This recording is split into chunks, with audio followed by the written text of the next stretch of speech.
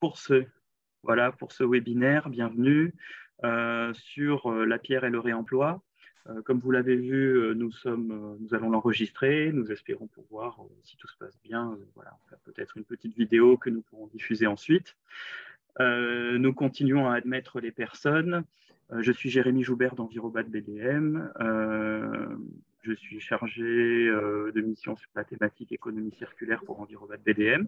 Et nous sommes ravis d'organiser ce webinaire euh, d'un cycle euh, sur le sujet de l'économie circulaire, le réemploi, avec nos partenaires Viva et Laure Pivet, directrice de Viva, ici présente. nous avons pensé à ce sujet de la pierre et du réemploi parce que on pense souvent à d'autres matériaux. On a eu un sujet avec le bois euh, récemment, mais euh, matériau très commun euh, en Provence, la pierre est réemployable lorsqu'elle est bien mise en œuvre. En tout cas, elle est réemployable à l'infini. Et donc, c'est un vrai sujet, un sujet intéressant. C'est aussi une manière de valoriser ce matériau, voilà, de le remettre à sa place, qui est au centre quand même de la construction et des aménagements en Provence. Donc, euh, pour cela, nous avons euh, demandé à Thierry Bourseau, qui est directeur technique euh, des Muraillers de Provence, de nous parler du réemploi des pierres dans une perspective d'économie circulaire, c'est-à-dire pas juste du bâtiment vers le bâtiment ou des aménagements vers les aménagements, mais transversal d'une filière à l'autre. Ça, c'est quelque chose de particulièrement intéressant et c'est la meilleure manière de valoriser ces matériaux. Euh, juste un dernier élément pour vous dire que vous pouvez poser vos questions dans la barre de chat tout au long de la présentation de Thierry.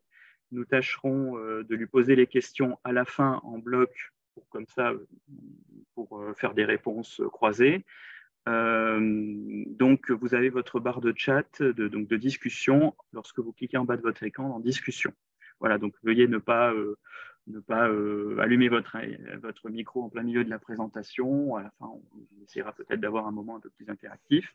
J'ai aussi promis euh, euh, de parler d'une exposition qui a lieu sur la pierre en ce moment à Toulon, qui est organisée par le CAUE du Var.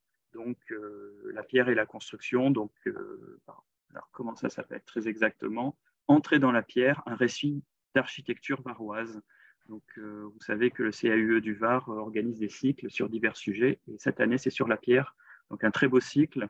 Euh, architecte, paysagiste, euh, constructeur, ça vous intéressera, c'est de très bonne qualité. Voilà, donc sans plus attendre, je passe la, la parole à Laure et à bientôt. Bonjour à tous, bienvenue dans ce webinaire. Nous je suis Laure Pizet, responsable de l'association Raedi Viva, euh, qui a pour but de promouvoir le réemploi en région PACA au travers de trois axes principalement, euh, à savoir structurer et animer le réseau du réemploi, des acteurs du réemploi. Euh, les acteurs du réemploi comprennent évidemment l'ensemble des acteurs de la construction et tous ceux qui, sont, qui ont un lien de proche ou de loin avec le métier de la construction. Donc pour ce faire, on a un certain nombre d'animations que je ne vais pas toutes les détailler, mais juste pour les prochaines à venir, on organise un petit déjeuner du réemploi qui a lieu demain sur Marseille de 8h à 9h avec l'idée de créer des synergies, des espaces de rencontre entre les acteurs. le prochain se passera dans le Var avec le partenariat du CAU du Var dont Jérémy vient de parler sur l'exposition Pierre. Et le suivant du mois de décembre, qui aura lieu le 6 décembre, euh, sera en partenariat avec euh, le Grand Avignon. Euh, donc ça, c'est tout un réseau d'animation en tant que du réseau du réemploi, on organise tout un tas de formations en partenariat avec Jérémy Joubert également et l'Envirobat BDM. Euh, et euh, ce webinaire rentre dans ce cycle d'information et de formation sur le réemploi. Je ne vais pas aller plus que ça euh, sur la présentation de Rediviva. Je vais laisser surtout la place à Thierry Bourseau pour nous parler euh, du réemploi de la pierre qui fait partie du coup de ce premier cycle de webinaire et on espère vous voir nombreux pour les prochains dont on vous communiquera les, thèmes et les dates. Euh, je vous remercie à tous d'être là et bon webinaire à tous. À toi Thierry, merci. Alors bonjour, bonjour à, à tout le monde. Hein, merci d'être là.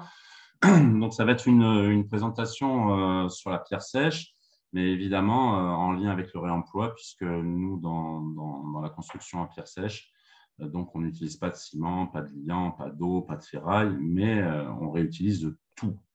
donc, effectivement, quand nous arrivons sur un ouvrage existant, toutes les pierres je dis bien toutes, vont être réemployées. Alors, on fait du, réapprovisionnement, évidemment, puisque là, ce que je vous présente, c'est euh, une structure euh, routière en pierre sèche.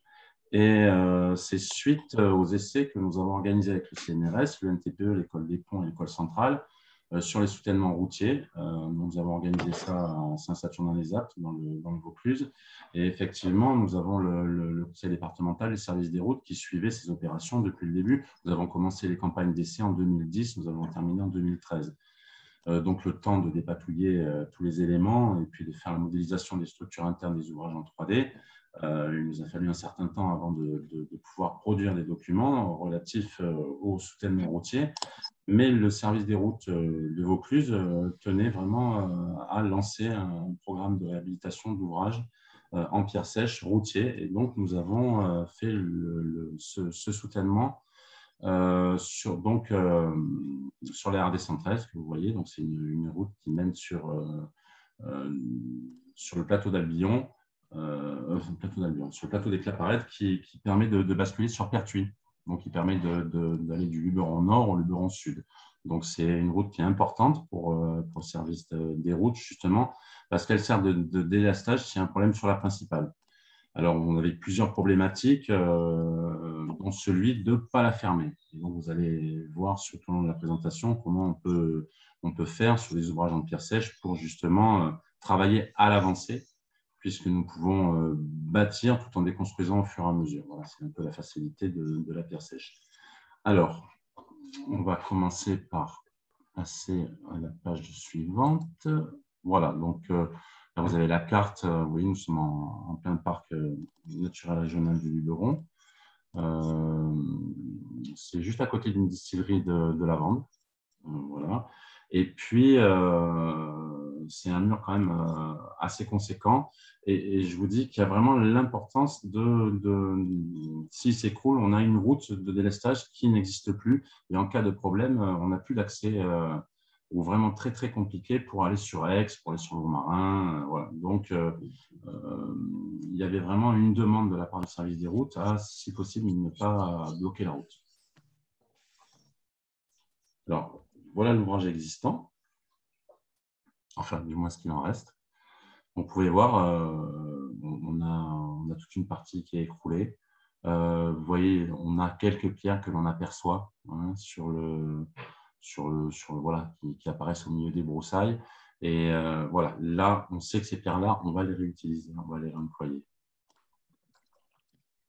Voilà, vous voyez bien, nous avons une partie de la structure qui est complètement effondrée, de la végétation qui a poussé au milieu, un risque d'affaissement de la chaussée si on, voit, euh, vous avez euh, sous le parapet une ligne d'assise de pierre un peu, plus, un peu plus plate. On voit le parapet qui est au-dessus, qui est maçonné un petit peu, et puis après, on a à nouveau l'ouvrage en pierre sèche. La route se situe là. Euh, donc, ça veut dire qu'on a vraiment un gros risque d'effondrement à, tout moment. Donc là, il, faut, il faut intervenir. Et donc, là, quand on, a ça, ben, on commence à, débroussailler, à enlever les végétaux et on commence le, tri. Hein. Voilà. Donc, vous voyez, on a, toutes les pierres qui sont ben, dans le talus, recouvertes par de la terre. Euh, sur la pierre sèche, principalement, on est dans le manu portable. On utilise très peu d'engins. Euh, vous verrez sur la présentation, nous avons euh, une boîte à moteur. Euh, sinon, euh, pour déplacer un peu les gros blocs, pour amener l'approvisionnement là où on en a besoin, mais principalement, c'est notre outil, c'est notre corps, hein, c'est Manu Portable, donc on, utilise très très peu d'engins. il faut que les pierres soient déplaçables, à plusieurs peut-être, mais on n'utilise pas de, de, grosses machines pour ça. C'est pas du, c'est pas de l'enrochement. On peut faire un enrochement façon pierre sèche, avec des modules beaucoup plus gros, mais là, nous, nous sommes vraiment dans ce que l'humain peut déplacer.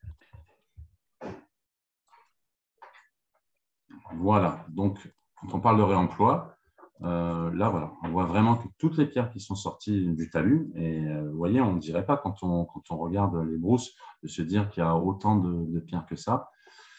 Donc, nous, dans notre réemploi, euh, on trie. Toutes les pierres sont triées, c'est-à-dire que vous avez des modules de fondation qu'on va mettre de côté, qui sont plus épais. on avait des modules de fondation, mais de calage arrière, qui sont moins jolis, mais tous aussi gros.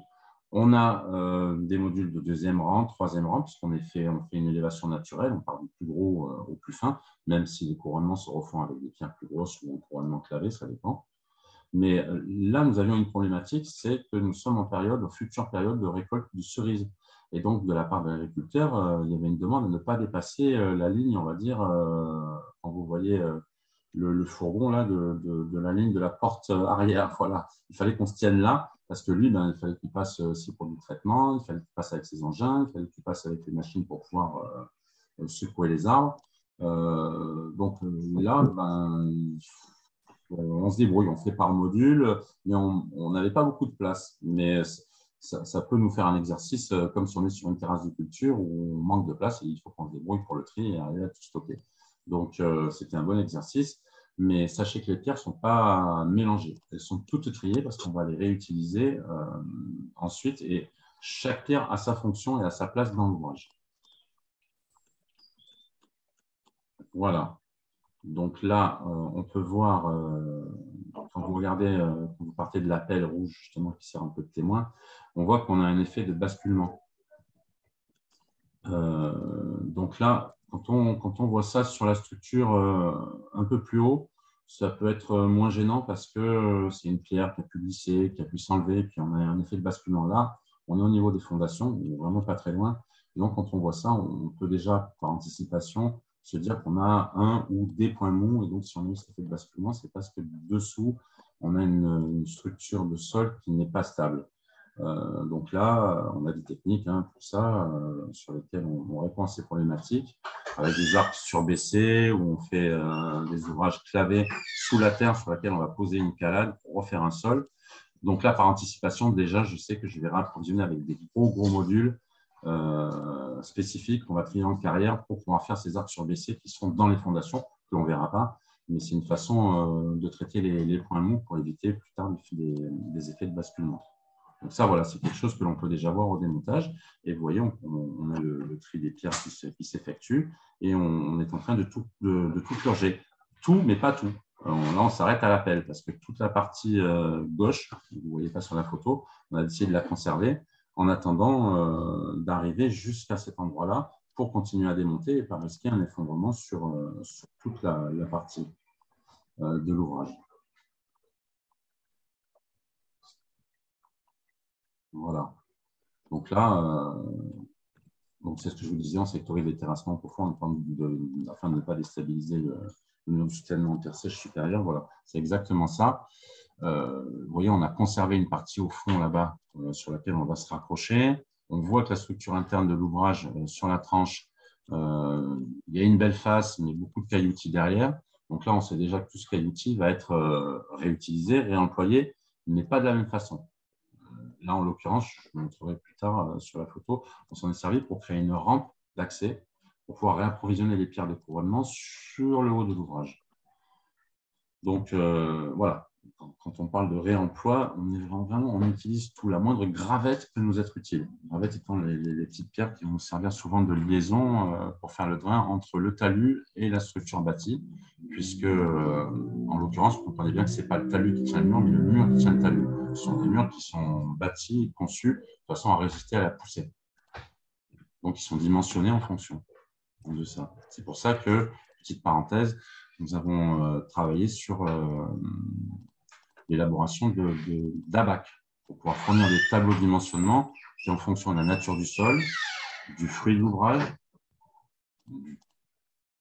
de, la, qualité du, sol, si on est sur un sol rocheux, si on a un sol souple comme là, si on est sur le mou, donc la hauteur, le type de pierre, l'angle et la consistance du talus, pouvoir donner des dimensionnements. Euh, ça, c'est le travaux que nous avons menés sur le schiste, le granit et le calcaire.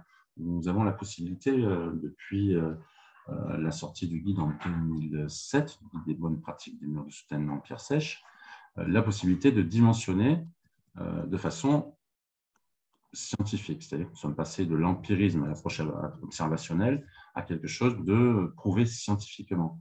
Euh, évidemment, ça recoupait l'empirisme. Pense bien. Euh, alors, avant, on disait, en gros, on faisait la moitié de la hauteur, euh, plus 10%. Et c'est vrai qu'on est à peu près tombé sur ces valeurs-là. Mais on sait pourquoi.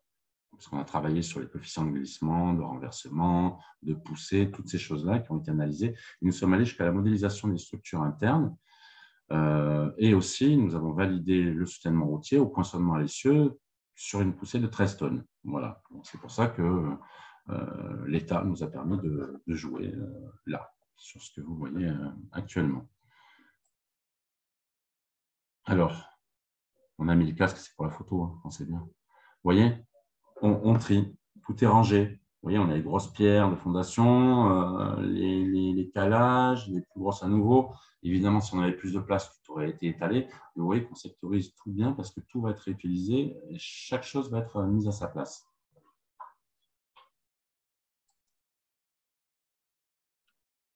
Voilà, toujours le tri, toujours le démontage, pas trop gratter. On, va se préparer une, partie que l'on va bâtir et l'autre, on, l'a triée, mais on va la laisser en talus et petit à petit, on va progresser jusqu'à l'élaboration de l'ouvrage euh, au fur et à mesure. Alors, là, on voit le, lot de pierres choisies en carrière. Alors, pourquoi les grosses pierres? Parce qu'après le tri, justement, je me, suis rendu compte qu'on allait être court. Il va nous manquer des pierres de couronnement. Donc là, on va mettre des gros modules. Et bien sûr, pour traiter les points mous, les grosses pierres que je vais claver en arc surbaissé. Donc, on est descendu jusqu'à 1m40 en l'occurrence hein, de, de, profondeur. Donc, on a fait deux arcs surbaissés plus une calade dessus afin de recréer un sol dur, stable, sur lequel on va pouvoir appuyer nos fondations. Alors, par rapport à l'alignement de l'ouvrage, on sort de 20-30 cm, parce qu'on est dans une zone agricole. On peut imaginer a un, agriculteur qui veut passer le griffon, qui va peut-être passer un peu près du mur. Il ne faut pas sortir trop, qu'on n'ait pas des effets de déchaussement. Mais on, sort un petit peu de façon à, faire un appui sur, euh, sur nos fondations euh, pour avoir quelque chose de bien entendu plus, plus, plus costaud. Voilà la livraison. Donc, toujours pareil, sur le côté. Donc là, on a, voilà, on a effectivement des gros modules parce que euh, de la pierre de calage, on en a, de la pierre de la gravette, on en a, du gros calage, on en a aussi. Voilà, donc le, tri nous permet d'être judicieux sur l'approvisionnement. C'est-à-dire qu'on n'approvisionne pas n'importe quoi, on approvisionne ce dont on a besoin. Parce que le but à la fin, c'est quand même de ne pas avoir 3, 4 cubes qui traînent, qui restent on devra reprendre ou mettre dans un coin, c'est un peu dommage. Donc, on essaie de tomber au plus juste, sachant qu'on a toujours un peu plus de pierres, parce qu'il nous faut quand même le choix. On ne tombe pas à la pierre près à la dernière. Mais euh, on essaie de se rapprocher de, de, ça, au plus près. Donc, on, fait attention sur les approvisionnements, quitte à se faire livrer en plusieurs fois. Voilà, donc vous voyez, on est en train de préparer la couture au fond on est en train de finir de, traiter les, fondations et vous voyez l'ouvrage là qui a vraiment, vraiment, vraiment, vraiment basculé. Là, on voit encore mieux. Donc euh, voilà, on, sait que s'il y a une partie de l'ouvrage qui s'est écroulée, c'est parce qu'on avait un souci sur les fondations. Mais en l'occurrence, on l'a vu après, ils ont habillé le rocher, donc euh, ils ont habillé une pointe de rocher. Effectivement, euh, je pense que ce qui, était au pied de ce rocher, ça s'est accumulé, mais ce n'était pas très, très, très solide, très costaud. C'est pour ça que le mur s'est écroulé on va dire que les anciens ont pêché sur les, sur les fondations, pour le compte. Voilà, vous voyez, on continue, on rate tout, on prépare. Toujours pareil avec les brouettes, euh, la terre mise d'un côté, les grosses pierres de l'autre. Voilà, c'est vraiment là que l'on fait notre ouvrage. On est en train de purger les fondations, on a purgé notre raccord. Vous voyez la structure interne de l'ancien ouvrage. Alors, là, euh, en l'occurrence, j'ai décidé de ne pas faire de chaîne d'angle euh, pour le séparer de l'ouvrage parce que je, pense que, et d'ailleurs, pour l'instant, le temps m'a donné raison, puisque cet ouvrage a 7 ans maintenant.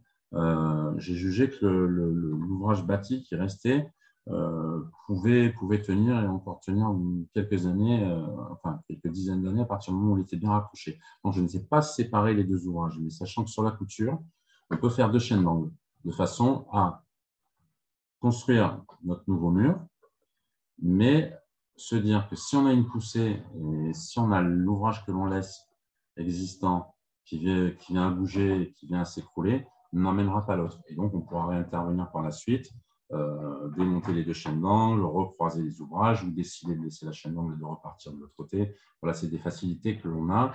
Euh, c'est assez souple la pierre sèche pour ça. On peut reprendre la couture, euh, si je peux me permettre, et le euh, quand on veut. Euh, donc là, voilà, on purge pour pas être sur la terre, évidemment, ni sur des petits cailloux, parce qu'après, euh, on a des effets qu'on appelle de moulinage. Hein.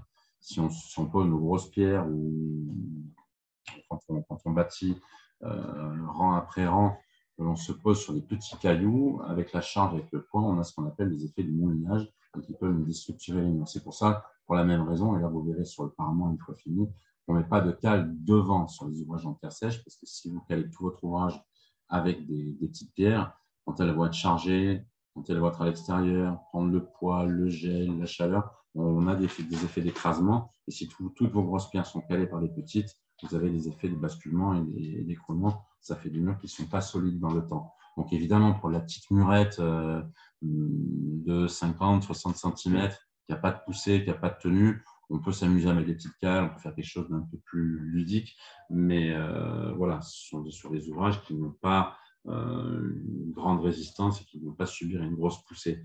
Mais dès qu'on parle de poussée, dès qu'on parle de poids, dès qu'on parle de charge, il faut éviter les cales en façade. Voilà. Donc euh, là, on va, on va gratter jusqu'au pied, jusqu'au pied de l'ouvrage. Donc là, vous voyez la boîte à moteur. Alors, voilà, si on doit avoir un outil indispensable dans notre fonction de murailler, c'est cette petite machine rouge que vous voyez. Ça nous permet, c'est des chinières, hein, ça nous permet d'aller où on veut, de rapprovisionner. Euh, bien sûr, sur une portable, on met 250 à 300 kg là-dessus.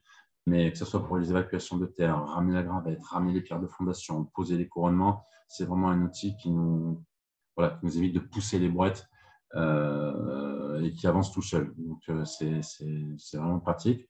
Euh, en rapport d'écologie, maintenant, on a testé, parce qu'on travaille avec les parcs, entre autres le parc national de la, Vanoise, et on l'a testé en version électrique. alors, c'est peut-être un peu cher à, l'achat par rapport à une thermique, mais nous, on l'a utilisé pendant 5 jours sans la recharger à 2500 mètres d'altitude. Ça n'a pas bougé, c'est super efficace. Euh, très très bonne machine. Donc, euh, on, va dire sur le rapport écologique, parce que la boîte à moteur elle a son petit bruit, hein, elle consomme un petit peu d'essence, mais euh, avec ces nouvelles machines, on peut vraiment avoir des chantiers vraiment très silencieux et sans pollution. Sachant qu'une boîte à moteur, ça ne va pas nous mettre notre bilan carbone à l'envers. Hein. C'est pas grand-chose. Mais voilà, avec des boîtes à moteur électrique, on peut encore faire mieux et surtout dans les zones où on n'a pas accès avec ces machines-là. Donc là, euh, vous, voyez la personne en haut avec la baramine, on a une souche, une énorme souche qui est rentrée sous la route. Et là, plutôt que de tout casser, la sortir de suite, euh, aller risquer justement un effondrement, l'idée, vous le constaterez après, c'est de se servir de notre ouvrage comme échafaudage, c'est-à-dire qu'on va rebâtir et on va aller jusqu'à cette racine-là, qui est au niveau de la baramine, hein, euh, pour, quand on va la creuser, quand on va la sortir, avoir déjà tout le talus de soutenu pour ne pas avoir de risque d'effondrement et pouvoir aller creuser euh, sous l'ouvrage pour vraiment sortir les dernières racines et remplacer ça par du caillou. Voilà, donc là, euh, c'est pour vous montrer aussi que notre ouvrage, une fois qu'il est bâti, une fois que les pierres sont calées, une fois que le, le, calage est fait en opus incertum, on peut se servir de notre ouvrage comme euh, outil et comme échafaudage, puisqu'on peut marcher dessus, on peut rouler dessus, on peut même, euh, là il est suffisamment large, acheminer nos pierres avec la boîte à moteur. Donc, euh, c'est vraiment un des intérêts de, notre profession, c'est qu'on peut se servir de notre ouvrage comme échafaudage. Voilà, comme même lieu d'acheminement. Sachant que, à la limite, au plus on a de poids, au plus on a de vibration, ça, nous, ça, nous, évite les effets de tassement. Donc, les effets de tassement, ils sont très limités puisqu'on charge au fur et à mesure. Donc, vous pensez bien qu'à la fin de l'ouvrage, les effets de descente, on n'en a pas, ou sinon on les a avant. Mais le fait de, mettre l'ouvrage en vibration en passant dessus avec la boîte à moteur, au contraire, sur un soutènement routier, ce n'est pas gênant. Ça ne peut qu'améliorer la tenue de l'ouvrage.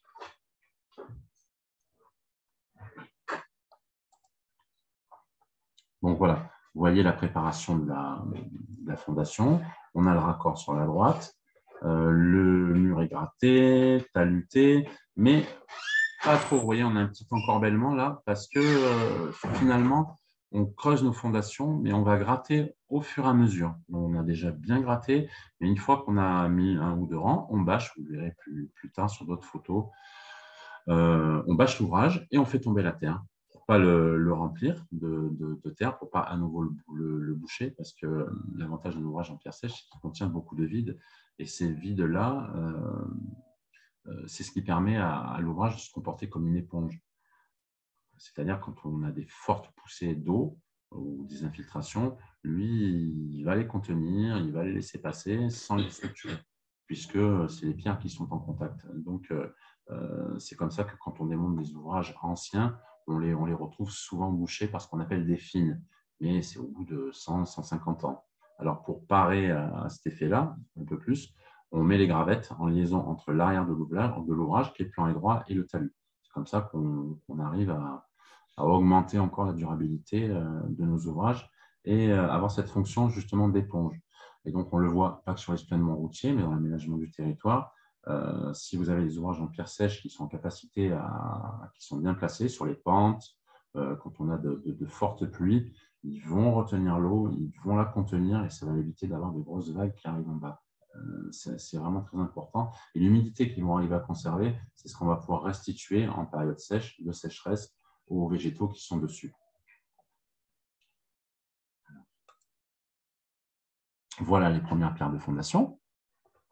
Et puis, vous voyez, euh, Gaël, là, avec la pelle, ben, voilà, on commence à traiter le point mou, on creuse. Et on va creuser jusqu'à 1m40. De façon, comme je vous l'ai expliqué, à faire deux arcs surbaissés l'un sur l'autre. Donc, euh, les sommiers, ce euh, c'est la terre, hein.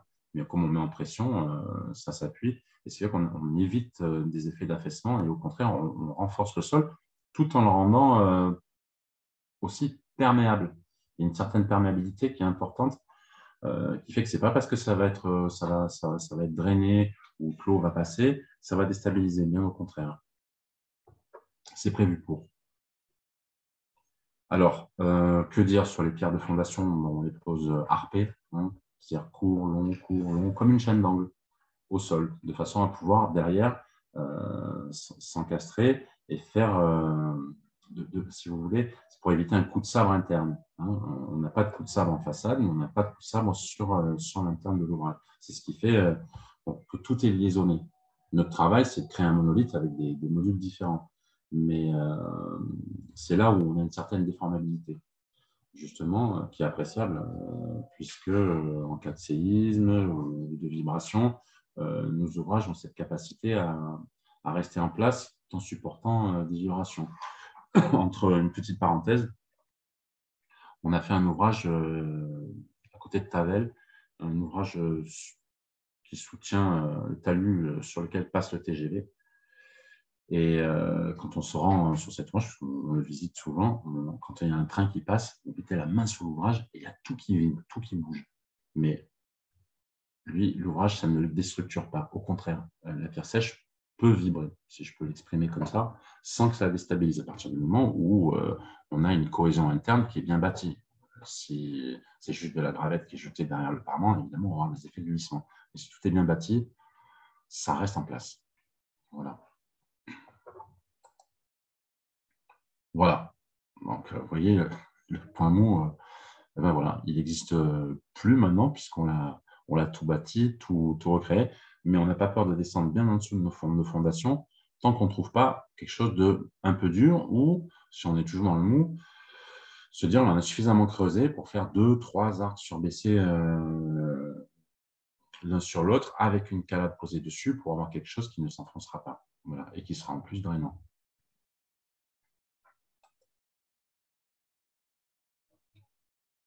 Donc là, vous voyez qu'on est en train de poser le calage, on est en train de faire le raccord à l'ouvrage. Euh, le calage, principalement, se fait un opus incertum, hein, que l'on va recroiser le rang d'après, et puis ainsi de suite, euh, de façon, comme je vous l'expliquais, à ne pas avoir de coup de sabre interne qui pourrait déstructurer l'ouvrage. Donc, on fait attention à notre perment, bien entendu. Euh, c'est ce qui va être visible, c'est ce qui va être beau, ce qui va être raccord avec l'existant ou pas, selon si on a pu avoir les pierres et si on y a pensé avant aussi. Mais euh, ce qui se passe à l'intérieur de l'ouvrage, c'est ça qui va faire sa longévité, sa durabilité. Donc, pas de contre-fruits, toujours dans le sens du talus. Il faut vraiment euh, avoir un, contact entre chaque pierre et surtout, bien sûr, pas mettre de gravettes dessus, de façon à ce qu'on ne s'appuie pas le rang d'après sur des petites pierres qui vont s'écraser? Donc, on va avoir un effet de moulinage. On est contact pierre sur pierre. Voilà. Voilà un point mot. Alors, euh, je n'ai pas mis la photo, mais dessous, vous avez deux arcs surbaissés. Et là, vous avez euh, euh, le, niveau de calade. Alors, c'est une calade monstrueuse, mais c'est le principe de la calade. Les pierres sont plantées droites. Et après, on va refaire encore un niveau dessus, de façon à se retrouver, comme vous voyez, les pierres où on voit les pieds de fondation là, à ce niveau-là, sur quelque chose de très, très, très solide. Donc, ça descendra plus. Et l'effet de tassement, nous, je vous, le dis, il se fait au fur et à mesure. Donc là, forcément, sur les effets de, descente, ça va se jouer sur euh, peut-être 5 mm, hein, c'est pas plus que ça, mais ils se font avant. Ce qui fait que quand on arrive à poser nos fondations, au moment où on pose nos fondations, il n'y a plus rien qui descend, c'est déjà descendu. Si ça, si, ça a dû descendre. Voilà.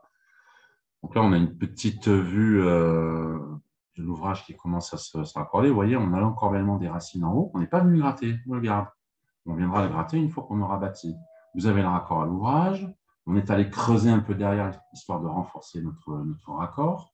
On a le point mou qui traité. Cette partie-là, qui est devant sur le premier euh, chevron, euh, on la conserve. On viendra la, démonter après, puisque là, de toute façon, elle nous tient le talus et on ne peut pas les jouer. Et donc, on va, on bâtir toute la partie, vous voyez, euh, du premier chevron jusqu'au second, euh, de façon à renforcer toute cette partie-là et après venir démonter l'autre partie, sachant qu'on aura à peu près la moitié du mur de bâti déjà.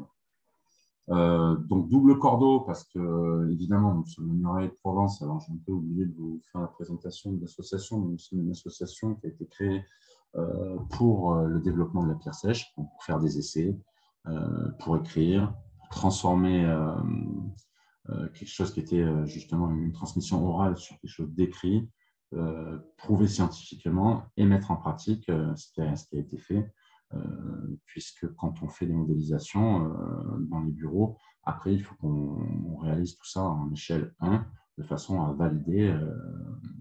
alors, ce que l'on savait déjà, mais voilà, pourquoi, pourquoi ça tient? Voilà, Maintenant, on peut, on peut, vraiment y répondre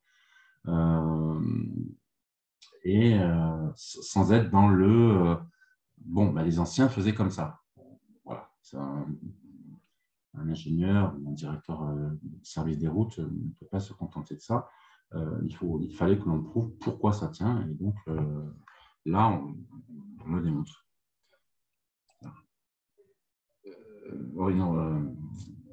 là, voilà, il y a un outil, c'est une chasse, et puis on voit le, calage qui commence à se faire en, opus incertum. Alors là, on est en train de le faire, mais vous voyez bien comment on, se raccorde au talus. Et voilà, donc je vous disais pourquoi le double cordeau? Bah, C'est parce qu'une association, nous faisons de la formation, évidemment. Donc là, nous avons eu des stagiaires euh, pour le CQP, nous avons eu des stagiaires euh, qui faisaient euh, une formation qui n'était pas diplômante encore, puisqu'on avait commencé à, diplômer, mais qui, qui allait justement travailler dans la pierre sèche.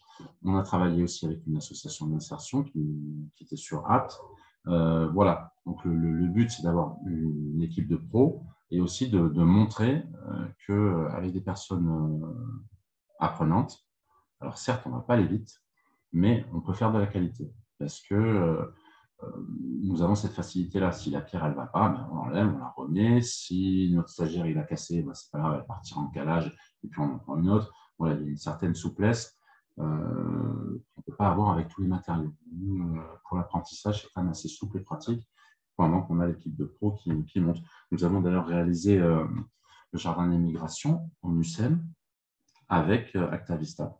Donc, nous, les murailles, on a monté une équipe de pros et l'idée, c'était de montrer aux personnes en insertion comment on peut bâtir et de leur faire participer sur, sur leur ouvrage avec un encadrant et euh, leur montrer que même, même s'ils ne vont pas vite, on arrive à faire de la qualité. Voilà, c'est comme ça que le, euh, pour la formation sur la pierre sèche, on a cette facilité euh, que tous les métiers n'ont pas.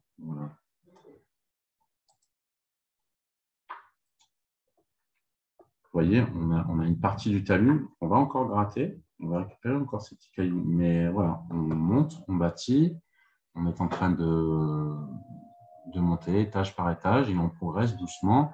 Donc, chaque pierre est calée, chaque pierre est, est mise en place, est calée par une autre. On va jusqu'au raccord du talus. Alors évidemment, euh, dans la pratique, on fait attention à ne pas pousser avec le calage des pierres devant, donc il y a une notion d'alignement. Voilà, quand on est nombreux à travailler sur un ouvrage comme ça, euh, voilà, il faut arriver à tout coordonner. Euh, donc, d'où l'intérêt d'avoir ce qu'on appelle chez nous un chef d'orchestre, pour que tout, le groupe joue, la même musique. Parce qu'il euh, n'y a rien de pire sur un ouvrage assez long comme ça, euh, de ne pas avoir une cohésion, et d'avoir l'impression qu'il y a plusieurs parements et plusieurs mains qui ont travaillé dessus. Euh, alors oui, on aime bien qu'il y ait plusieurs mains qui, travaillent sur les ouvrages, mais il faut qu'au niveau du rendu et de l'esthétique, on ait une, cohésion. Donc là, vous commencez à avoir une, partie de l'élévation de l'ouvrage. Hein. On, voit, on, va encore gratter. Vous voyez la souche là, elle est encore là. On l'a coupée hein, parce qu'elle nous ennuyait, mais tout ce qui part sous l'ouvrage est, toujours en place. Comme ça, on déstructure rien, on bâtit, on renforce, on solidifie avant de s'attaquer à, cette problématique. Euh, vous voyez le raccord qui a été fait sur l'ancien ouvrage, on a laissé le lien volontairement. Voilà, donc on est en train de faire la couture. Et évidemment, il faut, puisqu'on a un ouvrage que l'on va conserver le parapet au-dessus, avec une intégration, et là, quand je prends du recul, que je regarde, je peux dire que c'est quand même pas trop mal. Et vous voyez toute la partie dangereuse où on a le raccord encore là-bas qui a gonflé au fond, euh, eh ben, elle est en place, elle tient toujours, on ne l'a pas écroulée. Et ça, justement, ça nous permet euh, d'avoir, euh, on va dire, un peu moins de soucis. Je, sais que, alors ça peut partir, mais enfin, le talus est toujours là je ne suis pas allé jouer jusqu'au bout en me dire si ça part, euh, j'ai tout qui part. Là, j'ai déjà une partie qui est bien renforcée, on va bientôt toucher le, haut. Voilà, j'ai le bas du, talus qui peut plus partir parce qu'il est bloqué par. Là, il y a 1m40 en derrière, donc c'est tout bâti, ça ne bougera jamais. Euh, voilà, on commence à être un peu dans la sécurité. Ça, c'est l'avantage. On est moins dans le flottement. Voilà, vous voyez comme c'est tout bâti, tout rempli. Voilà, le but, c'est de faire comme un dallage sur lequel vous allez pouvoir marcher. Euh, je vous dis, on approvisionne les, pierres s'il faut. Là, on n'a pas besoin. Mais quand on arrive par le haut, on peut rouler avec une pointe à moteur sur cet ouvrage-là. Ça ne bouge pas.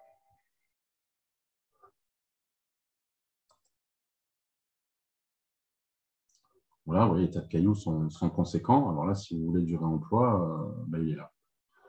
Ça veut dire que tout ce qui a été démonté va être réutilisé placé peut-être différemment. Euh, certes, on a du rapprochement par rapport au dimensionnement pour remplacer les petites gravettes avec lesquelles on a fait la rampe et avoir euh, une structure plus solide. Mais euh, il n'y a pas un caillou qui a été sorti de ce mur qui n'a pas été réutilisé.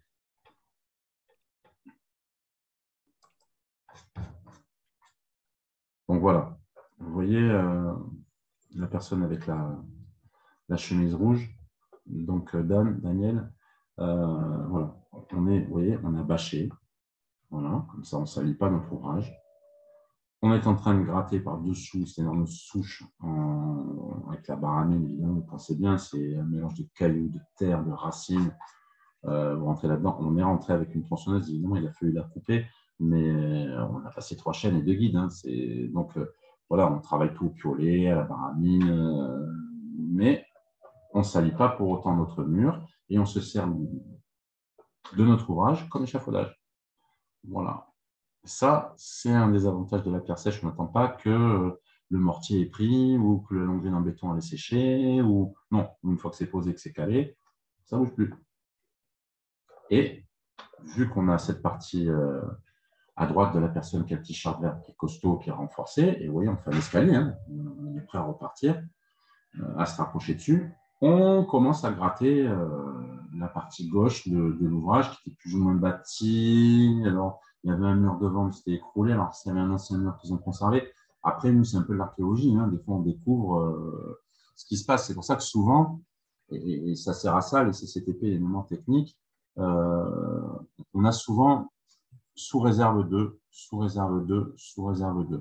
Pourquoi? Parce qu'on a des surprises au démontage. Et, donc, il est important, on établit les devis, ça je dans la généralité pour la pierre sèche, d'avoir le prix de talutage au mètre cube, euh, le prix du montage du caillou au mètre cube, euh, le prix des fouilles au mètre cube, parce que ça permet sur les avenants de pouvoir tout détailler. Donc, euh, on fait une réunion et puis on voit, voilà, on constate on, qu'il y a effectivement il y un point mou de 4 mètres cubes. Donc, 4 mètres cubes de, fondation de fouilles manuelles, ça vaut tant. 4 euh, mètres cubes de pierre bâtie, ça vaut tant, et ainsi de suite. Ce qui fait que c'est beaucoup plus simple euh, pour pouvoir, je veux dire, suivre les imprévus. Voilà. Donc, bien détailler le chiffrage, même si ça fait une globalité au prix mètre cube, mais le fait de détailler tout ça nous permet d'être euh, plus juste euh, sur euh, les problématiques que l'on peut rencontrer au démontage et les surprises. Thierry, juste, on s'approche un peu de la fin, il y a pas mal de questions. Est-ce qu'on pourrait juste peut-être voir l'ouvrage? Parce qu'on a beaucoup de questions intéressantes en plus. On y va, on y va doucement, On, est, on est bientôt à la fin. Donc là, vous voyez la structure interne de l'ouvrage. Hein. Donc, quand je veux dire nos puces insertum, voilà, c'est vraiment un dallage. On peut déjà marcher dessus. Il y a les plus, petites à l'arrière qui font le, raccord. Hein, voilà. Là, vous voyez l'ouvrage qui, est presque fini euh, sur la droite. Euh, l'arrachement ici. Là, on est en train, vous voyez, toute cette partie-là qu'on n'a pas bougé, on va, bientôt démonter. Là, vous voyez bien ce que c'est qu'une euh, structure d'ouvrage. Là, on est sur 1m60 hein, de large. Et là, sur la partie droite où il y a l'ombre, on remplit de gravettes pour faire la liaison entre le talus et l'ouvrage. Donc, vous voyez, quand je, vous, expliquais auparavant qu'on travaillait l'encorbellement et qu'on le grattait à nouveau pour être au bon dimensionnement, on le fait au fur et à mesure. Donc, toujours pareil avec les techniques de la bâche et puis après, on évacue la terre. Voilà l'ouvrage bâti. Là, vous voyez vraiment la largeur, vous voyez comment c'est bâti. Vous voyez vraiment la structure interne de l'ouvrage.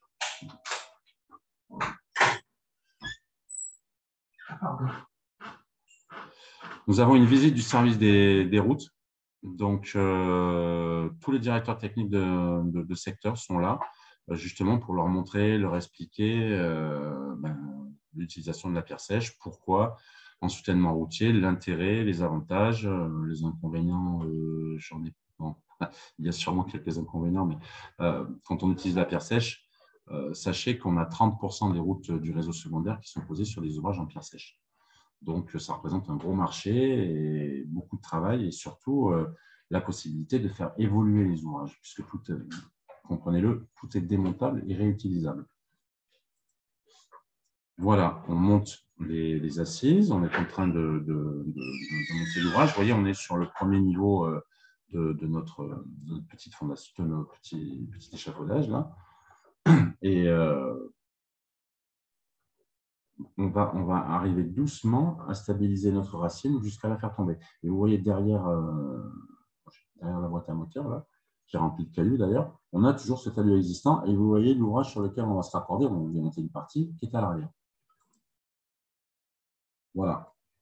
La bâche, on purge, on nettoie, les cailloux prêts à poser, l'état qui commence à maigrir, et puis là, on peut se dire pour l'intégration dans le paysage avec l'ouvrage le, dessus, on est vraiment dans le bon. Donc euh, voilà, ça, on sait que là-dessus, euh, ça va être joli. Voilà, elle est encore là. Elle est toujours là, on est en train de l'attaquer. Et vous voyez, on est en train de poser sur la droite euh, la personne qui a le chapeau, les deux personnes qui ont le chapeau sont en train de poser euh, le, couronnement. Tout doucement, mais sûrement. Et là, vous voyez la personne qui est là, la dame là, c'est Claire Cornu. Voilà, qui vient nous voir souvent sur les chantiers et justement qui nous a beaucoup, beaucoup, beaucoup soutenu et qui, fait de très belles conférences sur la terre sèche. Elle est en ligne, hein, elle est là. Elle est présente avec nous. Voilà la souche. On l'a évacuée, pas de terre, rien ne s'est écroulé et on s'est servi de notre, notre ouvrage comme échafaudage. Vous voyez, euh, on a encore du caillou hein, sur le côté. Alors, le, encore un point mou sur la nouvelle euh, partie que l'on a démontée. Donc, vous avez deux arcs surbaissés là-dessous et là, une calade. Évidemment, grossière, puisque c'est des fondations. on remet de la gravette entre les pierres, mais pas dessus pour qu'on ait une image. Et on a une fondation, on pose nos, fondations là-dessus. Voilà, vous voyez le raccord hein, euh, à l'ouvrage. Euh, l'intégration, elle est parfaite. Alors, là, on est sur le haut du mur. Donc là, je fais une calade. Vous voyez, on a les pierres de couronnement sur la droite. Et au-dessus, je calade. Je calade pourquoi? Je vais vous montrer. Le fait de calader, sous l'ouvrage euh, existant que je conserve au-dessus, je viens rentrer sous l'ouvrage avec des pierres plates et je pose ma calade sur ces pierres plates. Ce qui fait que si, et je vous dis, euh, on n'en a pas, mais on a un effet de tassement, un petit effet de basculement, au pire, ça va me, ramener mon mur, euh, ça va l'éviter de descendre, ça va remonter le mur à l'arrière remonter, entre guillemets, mais ça ne va pas le faire descendre. Vous voyez, voilà, on voit les pierres de couronnement, on voit comment on est bâti, on voit le raccord. Voilà, là, vous le voyez bien. Vous voyez, on a une pierre qui, passe sous l'ouvrage et vous avez la calade qui appuie dessus. Voilà, ce qui fait que euh, on contrecarre l'effet de basculement et en même temps, si au pire on a notre mur qui vient un petit peu descendre, ça nous remonte les pierres euh, de l'ouvrage qu'on a essayé de garder au-dessus. Et euh, sur la calade, on met de la petite gravette parce que le service des routes, ils ont de moins en moins de moyens pour, et de temps pour entretenir leurs ouvrages. Donc, au moins on a d'herbes et d'arbres et autres qui poussent sur l'ouvrage, ben, au plus, plus longtemps il va tenir et puis eux, ça leur fait moins d'entretien. Ben. Donc, on voit le caladage qui est recouvert sur la partie à l'arrière par de la petite gravette enfin petite, euh, c'est la moyenne gravette, mais on a fait avec ce qu'on avait, mais ça va très bien. Hein. ça, ça vient tout bloquer. Plus rien ne bouge après. Voilà. Donc tout ça, c'est rapprovisionné par la boîte à moteur sur la rampe qu'on a créée derrière l'ouvrage, de façon à pouvoir euh, venir avec notre engin et vider au fur et à mesure. Donc comme on est sur du manu portable, ça va, ça va très bien et au fur et à mesure, on avance. Voilà, vous voyez, le, alors là, on n'est pas sur le couronnement clavé vertical, on est euh, sur les grosses pierres qui sont posées, euh, mais arpées, de façon qu'on puisse euh, se claver derrière, ça peut se solide. Voilà. le, les hauts de l'ouvrage se Là, vous voyez bien comment c'est rangé. Là, vous voyez l'ouvrage raccordé avec le nouveau. On a, l'ancien ouvrage raccordé avec le nouveau. Voilà. Et là, ici, vous voyez, on a une pierre blanche là, qui, barre en travers et un coup de sabre. C'est volontaire. Parce qu'entre muraillés, on, se comprend. Et quand vous voyez tout un ouvrage de 25 mètres où il n'y a pas un coup de sabre, que là, vous tombez sur un coup de sabre, vous dites Ah, pourquoi ils ont fait ça? Et c'est là qu'on a la lecture de notre raccord parce que évidemment le raccord il a été travaillé, on l'a rebâti sur la gauche, mais le but c'était de conserver l'existant, de le renforcer et de s'intégrer. Parce qu'en même temps qu'on fait des murs euh, nouveaux, on en a profité pour valider les reprises de brèches. Ça faisait partie de, nos objectifs. Et là, ben, c'est justement, on peut le, considérer un peu comme une, brèche. Et donc pour les muraillers euh, à venir, qui reviendront peut-être reprendre l'ouvrage dans une centaine d'années, ils sauront qu'on s'est arrêté là. Entre muraillers, on se comprend sur ce genre de choses-là. Voilà l'ouvrage fini. Et donc, on peut voir qu'il y a une intégration parfaite dans le paysage, euh, que tout a été réutilisé, tout a été réemployé. Et l'ouvrage, là maintenant, on est parti, je pense, pour une bonne centaine d'années. Hein. Voilà. Donc, euh, euh, je peux vous dire que c'est pour nous, c'était vraiment une vraie reconnaissance parce que euh, avoir pu enchaîner les essais sur l'exploitation routier et la réalisation d'un soutènement routier, euh, enfin, demandé par le service des routes, pour nous, c'était vraiment idéal. Donc, voilà l'ouvrage. Et, puis, l'ouvrage est terminé et la conférence aussi. Voilà. Voilà, Jérémy. Merci Thierry pour cette présentation très très intéressante. Euh, c'est un super mur hein, au final. Il est super beau ce mur. Merci. Euh, on a eu beaucoup de questions tout au long de la présentation. Je vais essayer de les hum, recenser. Alors d'abord, je tiens à remercier Claire, Claire Cornu, qui a, donné beaucoup, beaucoup d'informations au fur et à mesure de la présentation sur des rapports, sur des, euh, sur beaucoup de choses. Donc, euh, ça va étayer un peu les, questions à poser. Euh, il y a des questions sur euh, les, règles, les règles de l'art, les règles, comment vous, pas, j'en prends une, quelle est la longueur maximale pour chaque phase d'intervention? Tu as expliqué que vous fonctionnez par tronçon. Est-ce qu'il y a une longueur maximale à respecter ou pas? Ah, non. Là, c'est vraiment chaque cas est différent. Euh, vraiment,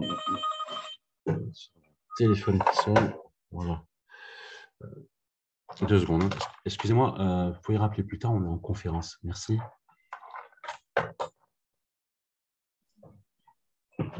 Voilà. non, là, c'est chaque cas est différent. Euh, il y a des parties sur lesquelles je pourrais vous dire on va à 3-4 mètres maximum, euh, comme 1 mètre, comme 10 mètres, comme 20 mètres. Ça dépend de la qualité, ça dépend de l'ouvrage, ça dépend de ce qu'il y a derrière. Il y a des parties qui ne peuvent pas attendre. Euh, voilà, c'est un petit peu au cas par cas. Ok, ça marche. une question sur le, une question liée aux assurances par rapport à... Alors, je, je vais laisser... Euh, Jérémy, je ne sais pas si tu as mieux perçu la question que moi.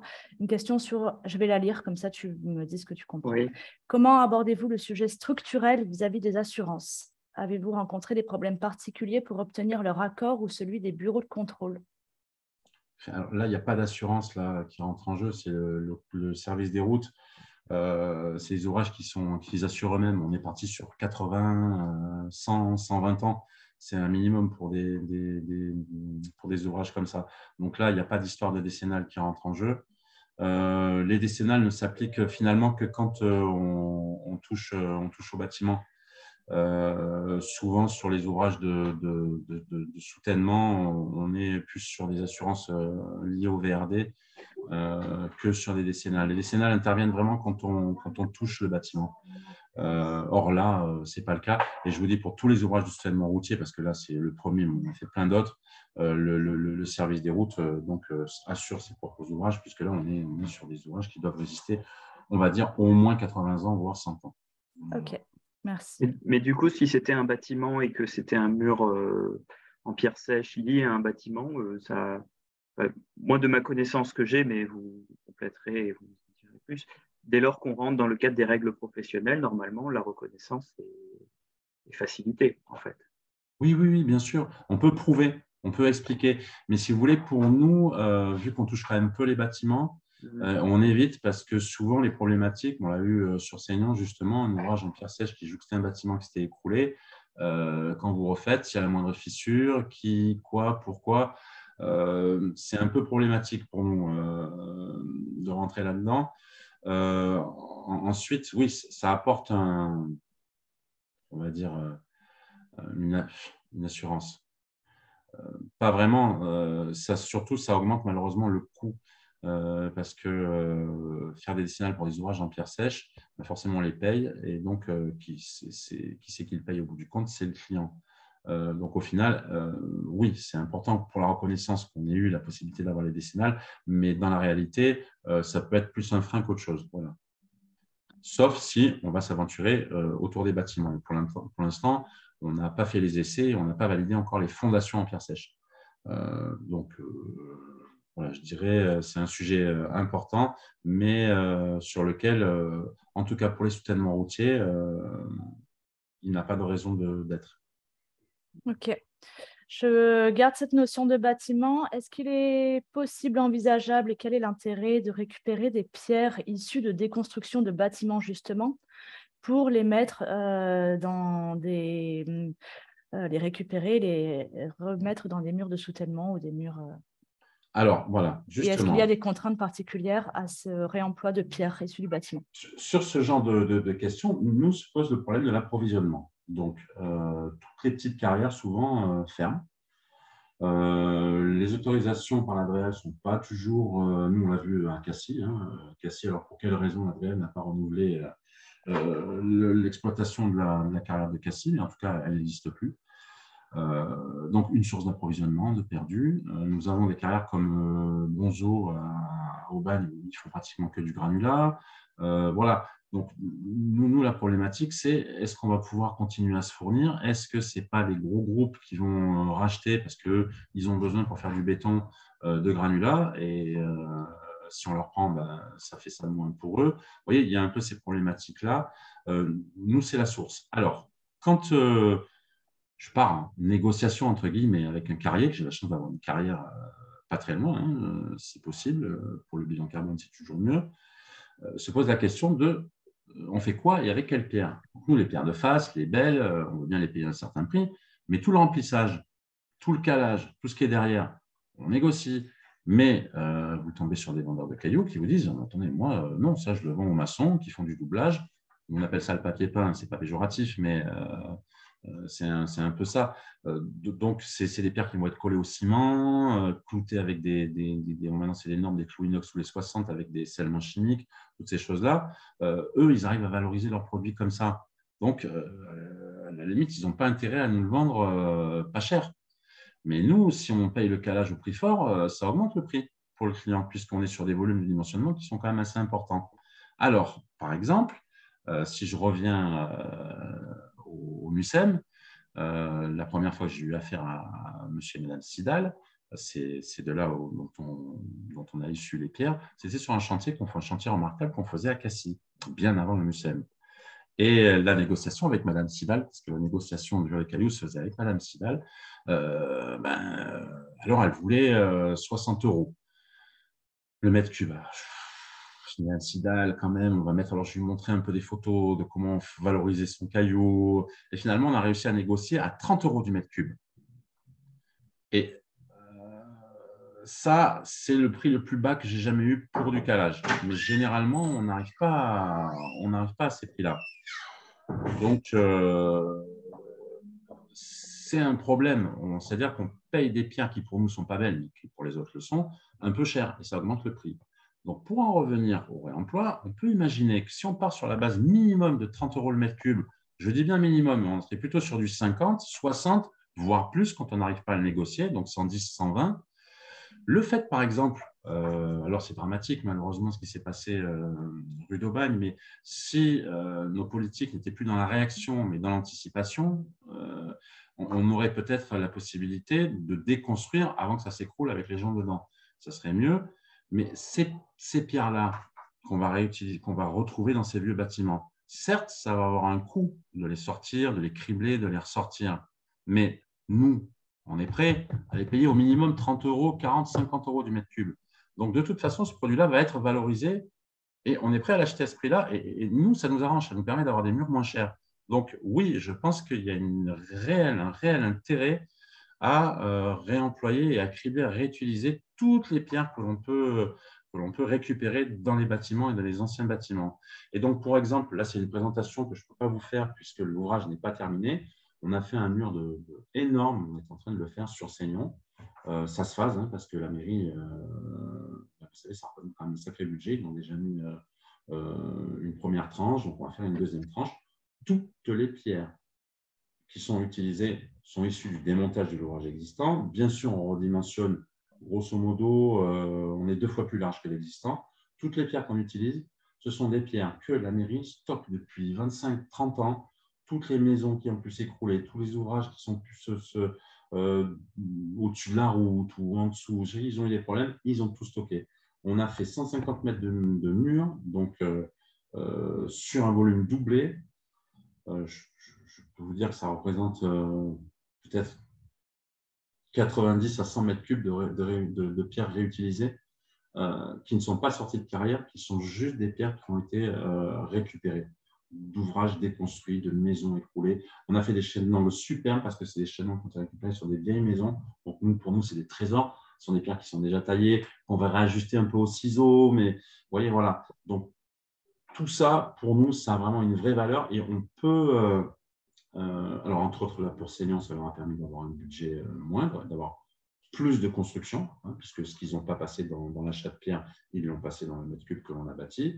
Et nous, je vous dis, muraillés ou autre structure, hein, toutes les personnes qui font du caillou, nous sommes prêts à aller, à, racheter ces pierres-là, évidemment, parce qu'elles ont un intérêt pour nous. Merci, c'est parfait.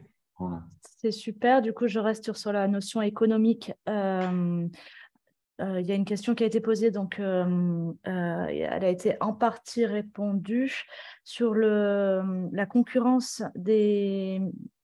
par rapport aux murs de soutènement en béton. et du coup, même question pour les murs avec des gabions. Donc, Julia, y, y a en partie répondu, mais du coup, je reste sur cette question économique. Alors, concurrence, on ne peut pas vraiment parler de concurrence. Ce n'est pas la même chose. Un mur en béton, c'est un ouvrage en béton. Ça veut dire que lui, il ne sera pas déformable.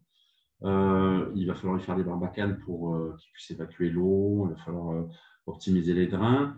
s'il y a une grosse poussée, s'il est fissuré, il est foutu.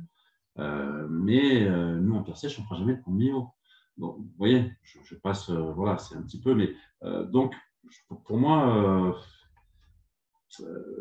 c'est un, peu, un peu compliqué. De, je pense que le mur en béton a vraiment son, sa valeur, sa raison d'être, comme le mur en pierre sèche.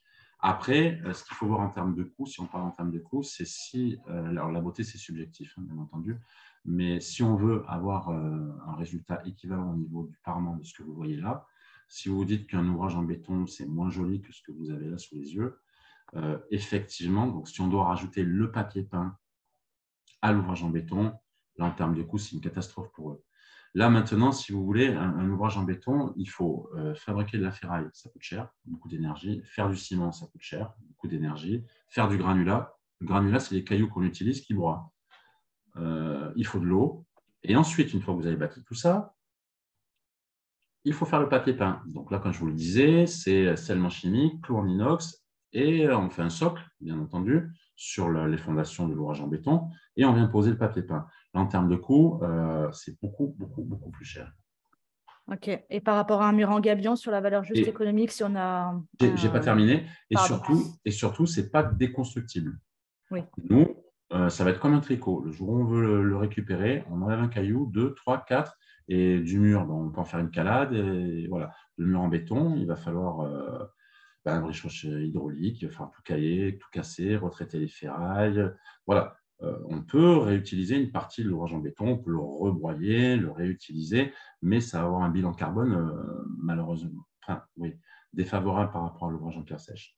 Après, le gabion, alors pour nous, euh, on, va dire, enfin, je dis nous parce qu'on les muraillés, différentes structures et associations, on se réunit, puis on parle un peu de tout ça, bien entendu. Mais si vous voulez, ça nous permet d'avoir les cailloux sur place après, pour pouvoir faire les ouvrages en, pierre sèche.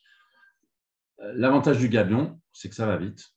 Euh, certes, ce sont des paniers, alors il y en a qui ne trouvent pas ça esthétique ou pas, mais en tout cas, c'est déconstructible, ça pollue pas vraiment. Et puis, au pire, si on va passer à autre chose, ben, nous, on aura des cailloux pour faire des ouvrages en pierre sèche. Donc, euh, oui, le gabion, c'est un, moindre mal et je trouve que c'est une solution euh, peut-être temporaire, mais qui peut permettre d'aller vite, de faire des ouvrages assez rapidement quand on n'a pas les moyens de se payer des ouvrages en pierre sèche parce que ça a un coût. Ça a un coût parce que euh, vous voyez bien qu'on ne peut pas aller plus vite que la musique, on n'est pas des machines. Et euh, nous, notre rapport, il est, j'en ai peut-être pas parlé, mais c'est un savoir-faire, un savoir-être, un savoir-vivre. L'un va pas sans l'autre.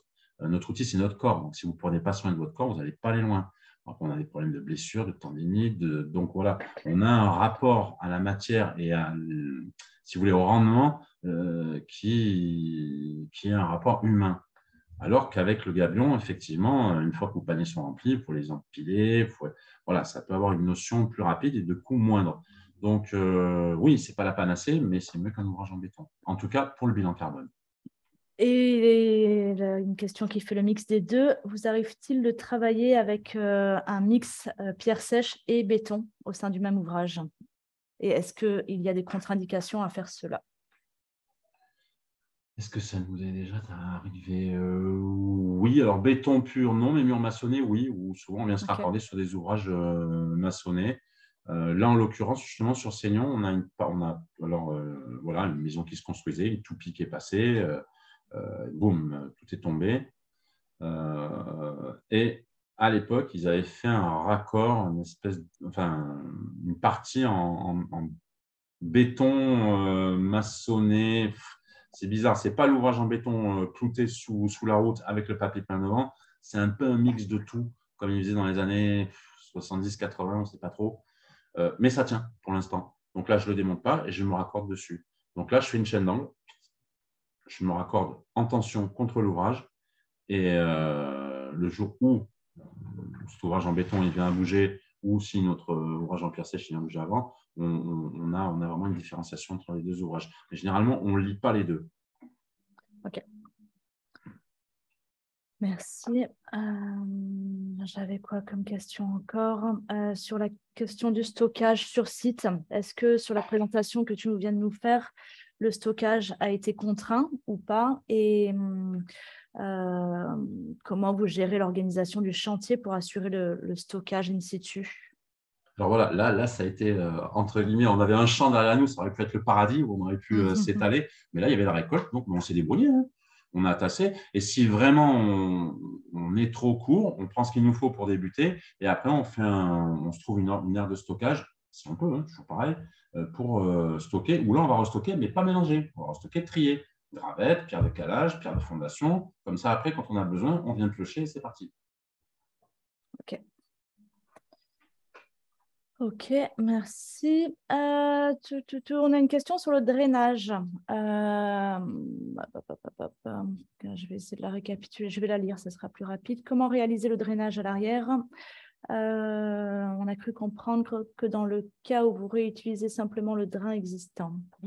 Alors, pas très clair, pardon. Je... Euh, Mais alors, ce, qu'on peut dire, nous, l'ouvrage, comme je, l'expliquais, il est bâti. C'est-à-dire que le mur, il se tient sur lui-même, il est en capacité, hein, je, me répète un peu, mais ce n'est pas le talus qui tient le mur, c'est le mur qui tient le talus. Donc, nous, ce raccord entre. Alors, au début, quand on a lancé euh, tous les essais et que toutes les associations existantes ont papoté on discutait pas chiffon, on discutait euh, drain. Comment arriver à, trouver la bonne solution? On a même envisagé le géotextile, tous ces trucs-là, pourquoi pas? Mais après, mettre du polyester à l'arrière d'un ouvrage 100% euh, écolo, c'est un peu idiot. Et on s'est rendu compte qu'effectivement, la gravette, c'est ce qui nous permettait de retenir les fils, de faire une liaison entre le talus et l'ouvrage. Et aussi, euh, ça va nous, permettre de filtrer les fils. Notre ouvrage, alors là, je parle sur au minimum 100, 150 ans mais euh, ça va nous éviter que le mur se bouche avec, des, avec ce qui arrivera de toute façon à un moment ou à un autre, mais avec des fils. Voilà. Chaque fois qu'il pleut, chaque fois qu'il y a des orages, on a des infiltrations, on a de la terre qui vient se mettre. Euh, voilà. Le, fait d'avoir une, zone de gravette de 10, 15, 20 cm, ça dépend ce qu'on a comme place, comme espace. Euh, c'est vraiment l'idéal. Voilà. Parce qu'en plus, en termes de poussée, ça nous amortit la déformabilité. Ok. Et sur le chantier que tu viens de nous présenter, euh, il a duré combien de temps et a mobilisé combien de personnes? Alors, on, a, c'est, un, ouvrage qui a duré euh, huit semaines. Et alors, j'avais une équipe de cinq pros, plus, alors on a eu des stagiaires, on a eu six équipés et des personnes qui venaient, dans les six équipés, on les a eu pendant quatre semaines. Donc, euh, eux, ils étaient en apprentissage. Hein. donc, évidemment, on les fait caler, ils nous approvisionnent, on leur fait monter. On n'est pas dans la production, là, mais euh, disons que ce sont des, personnes qui ne nous font pas perdre de temps, puisque le temps qu'on passe à leur expliquer, ils nous le rendent en, nous ramenant un coup du caillou, en approvisionnant. Voilà, donc ça, ce n'est pas un problème. Par contre, avec l'association d'insertion, euh, bah là, c'est différent. comment je pourrais vous dire? Eux, ils venaient, ils étaient deux jours par semaine, une dizaine. Mais une fois qu'ils étaient partis, on démontait tout. Voilà, parce que là, ce n'était pas possible sur un ouvrage tellement entier comme ça. Mais c'est pas grave, on démontait tout. Mais nous, les cailloux qu'ils avaient posés, on les reprenait, on les mettait derrière. Mais pour eux, ça, ils ne le voyaient pas. Notre, notre, but, c'était de valoriser ce qu'ils faisaient, leur expliquer comment caler. Mais c'est un très bon support. On dit qu'en même temps qu'on construit le mur, on reconstruit les gens. Pourquoi? Parce que dans la, dans la pierre sèche, vous êtes en permanence dans la prise de décision. C'est vous qui prenez la décision de mettre cette pierre-là, comme ça, et pourquoi, et voilà. Ça va, ça va, ça va pas, ça va pas, mais si ça va pas, c'est pas grave, on démonte et on refait. Et petit à petit, à un moment, vous arrivez à faire bien.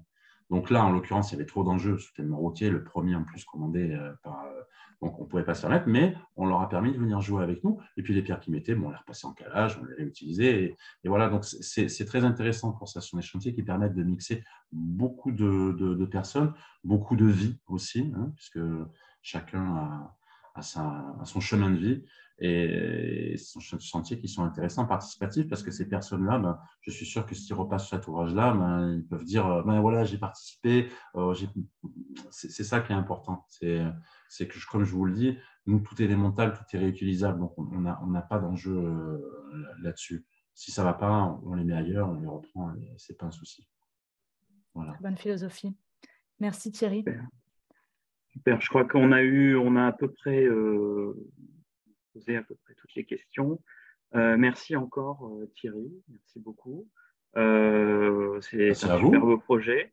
Merci à, tout, à toutes et à tous qui, m'ont écouté. Hein. merci d'être là. Merci de, votre intérêt, en tout cas. Pour nous, c'est ce qui nous porte. Hein. On est parti de, de pas grand-chose il y a une vingtaine d'années. Alors, on ne nous a pas pris évidemment pour des rigolos, puisqu'il y a des murs en pierre sèche de partout.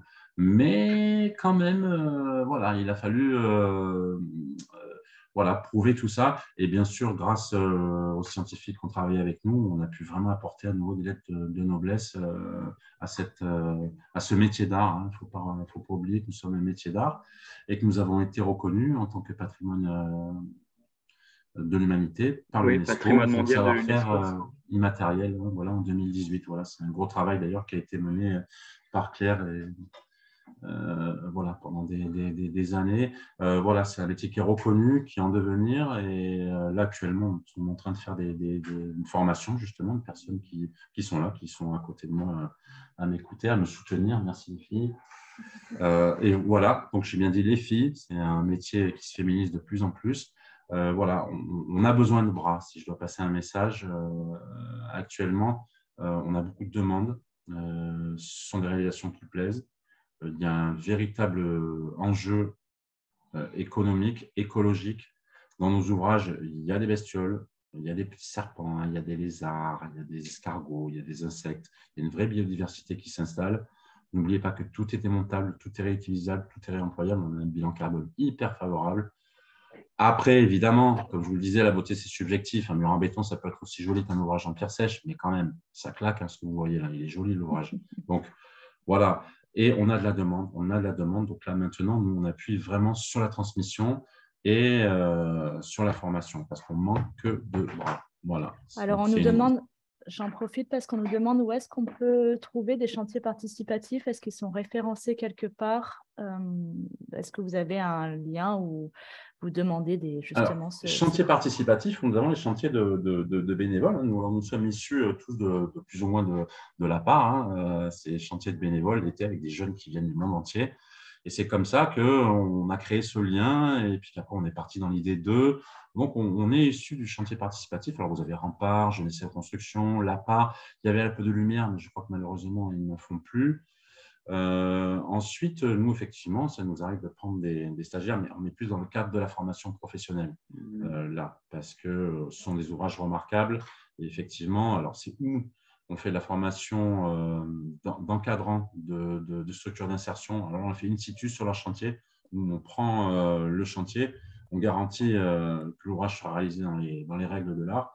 Et comme ça, ça fait un précédent pour l'association d'insertion. Et en même temps, nous, on est payé par les OPCA et euh, on fait la formation des encadrants. Ça, c'est une technique euh, que je trouve assez sympa. Ça permet euh, justement à l'association d'insertion de ne pas délocaliser ses encadrants et de pouvoir prendre des chantiers et se créer un, savoir-faire. Ensuite, chantier participatif, par exemple. Alors, évidemment, une association, ça, nous, on fait un chantier, on fait un bourri pour le, les fêtes de la Terre. Voilà. par exemple, voilà, euh, comme vous avez plein d'associations maintenant, euh, c'est pour ça qu'on n'avait pas déposé le nom Murailler, nous avons le premier à l'avoir recréé et utilisé, mais maintenant il y a Murailler Languedocien, Murailler euh, la vieille Père de Bourgogne. Enfin voilà, ce mot, ce mot Murailler, il s'est développé, nous avons pas mal d'associations. Effectivement, nous avons sûrement, en fouillant sur le net, vous trouverez des chantiers euh, participatifs. Nous sommes vraiment sur des chantiers pro où, euh, effectivement, euh, je ne demande pas une certaine excellence. Et là, voilà, c'est peut-être pas. on ne travaille pas le week-end là-dessus. Voilà. Mais nous avons pas mal d'associations qui font ça côté ludique, avec des personnes tout aussi compétentes que moi pour vous raconter et vous amener sur ce, ce parcours de pierre sèche. Voilà. Merci beaucoup. Euh, vous retrouverez aussi euh, les coordonnées donc, des muraillers de Provence euh, et de, des autres associations entreprises hein, sur la leur fédération, hein, leur association des professionnels de la pierre sèche, ainsi que les règles pro, donc, qui servent un peu de référence sur ces sujets-là, hein, qui sont en accès libre. merci encore Thierry. Euh, juste euh, dire un mot sur les prochains webinaires. Voilà, donc euh, on, a encore 40 personnes. C'est le premier webinaire d'une série sur l'économie circulaire, le réemploi. On a déjà à peu près nos sujets, donc restez en contact pour participer au prochain. Sans doute le prochain sur le stockage des matériaux de réemploi. Donc voilà, donc ça peut c'est un vrai sujet. on le sait, surtout à l'échelle donc des collectivités, des intercommunalités, des réseaux d'entreprises qui se posent toutes ces questions. Aussi, sans doute, euh, on abordera à un moment la question euh, de la démontabilité du bâti. donc, ça, on va voir quand est-ce qu'on peut le faire. C'est un sujet un peu plus orienté bâtiment, avec des ingénieurs qui vont nous parler de ce sujet. ces savoir-faire-là sont rares en France, donc voilà, on est en, contact avec des personnes qui maîtrisent un peu le sujet, mais il y a très peu de bâtiments réalisé. Donc, euh, et puis, euh, un dernier sujet autour, sans doute, de la requalification ou euh, des assurances dans les prochains, d'ici la fin de l'année. Donc, restez en contact et puis à bientôt. Et n'hésitez surtout pas à nous proposer des sujets que vous souhaiteriez aborder dans le cadre de webinaires. on y travaillera toute l'année 2023 également, donc on est à votre écoute pour des sujets à traiter. Merci à tous d'avoir suivi ce webinaire. Au revoir. Au revoir. Au revoir. Merci.